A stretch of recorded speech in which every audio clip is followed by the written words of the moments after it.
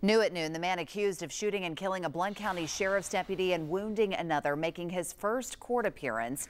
Investigators say Kenneth Wayne DeHart Jr. shot and killed Deputy Greg McCowan. Vinay Simlot was in court this morning for that hearing. Vinay, bring us up to speed. And Heather, this was really an ordinary hearing for what has turned out to be an extraordinary case. It lasted all of a few minutes, but Blount County Sheriff's Office high ranking officials were lined up against the wall, and the Attorney General here in Blount County, Ryan Desmond, was seated at the counsel table working this hearing today.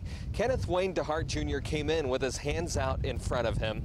Escorted by deputies, he's charged with first degree murder for the death of that deputy and attempted first degree murder. He told the judge today he didn't have an attorney. The judge appointed a public defender.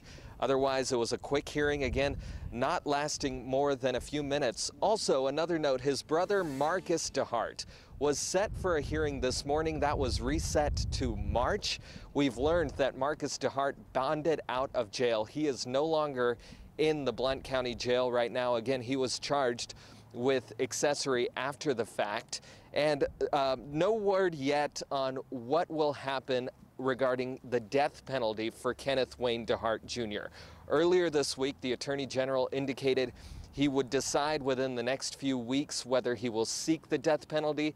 And again, Heather, that is his decision and his decision alone. Mm. We'll see how it all unfolds. Vinay Simlot live for us outside the Blount County Justice Center. Vinay, thank you.